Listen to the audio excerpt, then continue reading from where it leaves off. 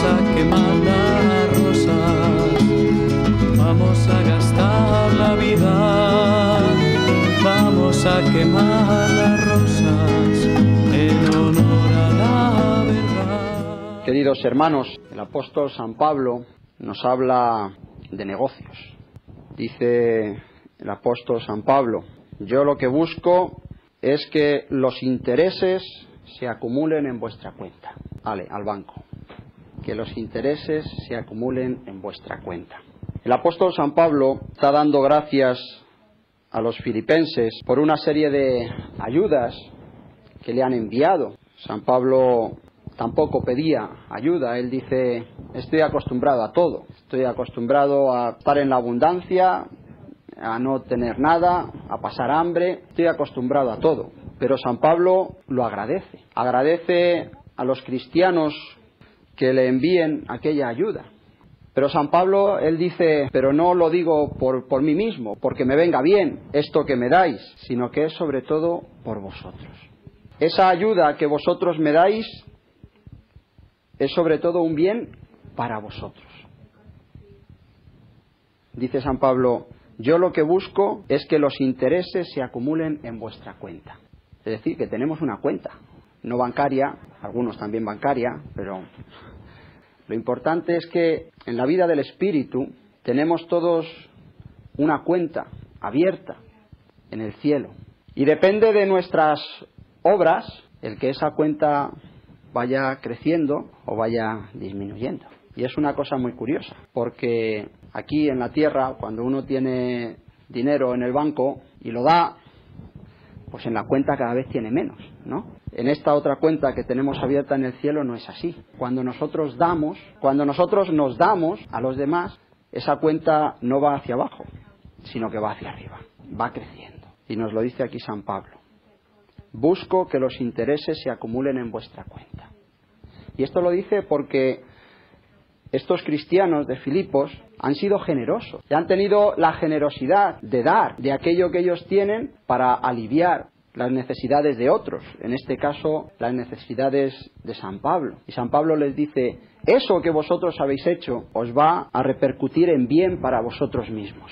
Porque eso que habéis hecho no os va a quitar nada, sino que va a ser un plus, va a ser algo más para vosotros. Y eso es lo que pasa también en nuestra propia vida.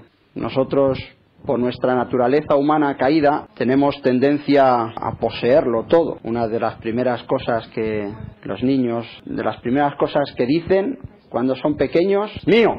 Cuando ven cualquier juguete por ahí y otro niño quiere jugar con él, no, es mío, es mío. Y por nuestra naturaleza caída tenemos tendencia a, a apropiarnos de las cosas, a apropiarnos de todo. Y el Señor nos invita a través del apóstol San Pablo a esa generosidad, a ese darnos, a ese entregarnos, sabiendo que esa cuenta que tenemos abierta en el cielo va a ir creciendo cada vez más. Y los intereses que da el Señor en esa cuenta no son como los intereses que dan aquí en el banco, que no sé lo que dan, pero siempre es poco. Los bancos nunca pierden. El Señor da un interés que nosotros no podemos ni siquiera imaginar. Ya el apóstol San Pablo nos lo dice. Lo que ni ojo vio, ni oído oyó, ni el corazón del hombre es capaz de imaginar. Eso es lo que nos tiene preparado el Señor en el cielo.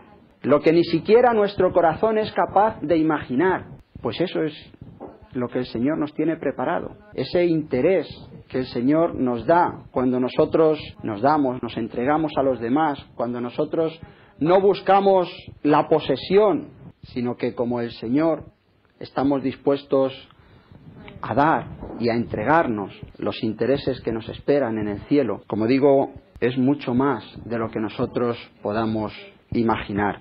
Y ahora viene la pregunta, ¿cómo se puede pasar de ese, todo lo habremos dicho cuando éramos niños, mío, de ese afán de posesión en el que lo queremos todo para nosotros mismos, ¿cómo pasar de eso a la generosidad, a la entrega?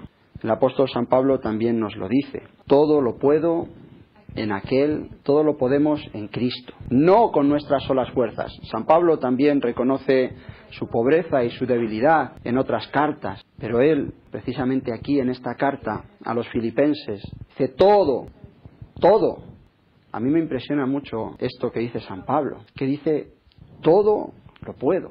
No dice, puedo muchas cosas, puedo, no sé, que dice todo. Todo lo puedo, pero claro, no en sí mismo, no en sus fuerzas, no, todo lo puedo en aquel que me conforta. Todo lo podemos en el Señor.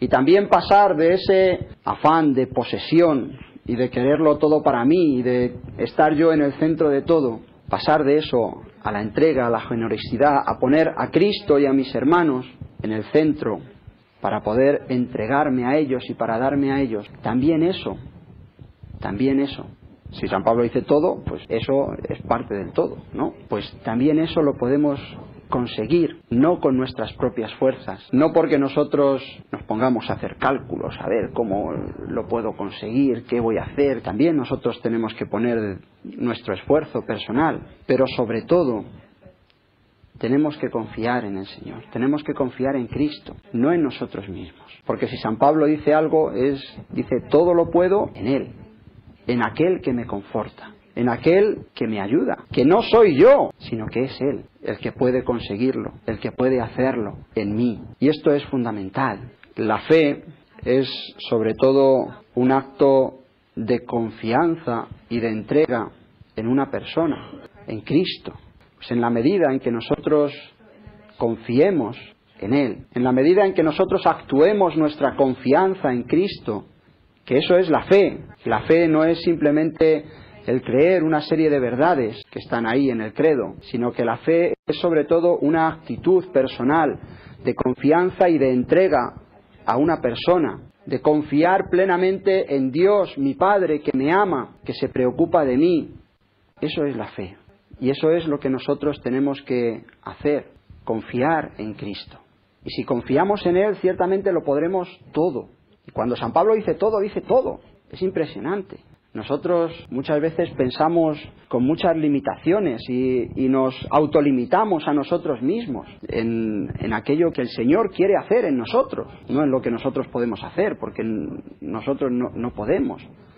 Pero sí que el Señor puede hacerlo en nosotros y quiere hacerlo en nosotros. Y muchas veces aspiramos a una vida bastante mediocre. San León Magno tiene una frase que dice, reconoce, cristiano, tu dignidad. Cristo vino al mundo para salvar tu alma.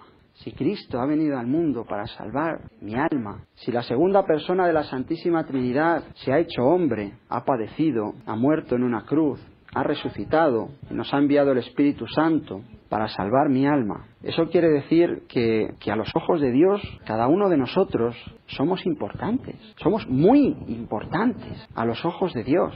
Si Cristo se ha hecho hombre para salvar nuestra alma, imaginaos el valor que tenemos a los ojos de Dios porque Él quiere, no porque nosotros valgamos nada, pero Él ha querido que tengamos ese valor a sus ojos y por eso se ha encarnado, por eso se ha hecho hombre y Él quiere que nosotros participemos de su gloria. Para eso, para eso se ha hecho hombre, para eso ha bajado del cielo, para elevarnos a nosotros y que podamos estar junto a Él, que podamos participar de su gloria durante toda la eternidad. Y como digo, nosotros muchas veces nos conformamos con una vida bastante mediocre porque no nos damos cuenta de esa grandeza, de ese valor que tiene nuestra alma, que tenemos cada uno de nosotros a los ojos de Dios.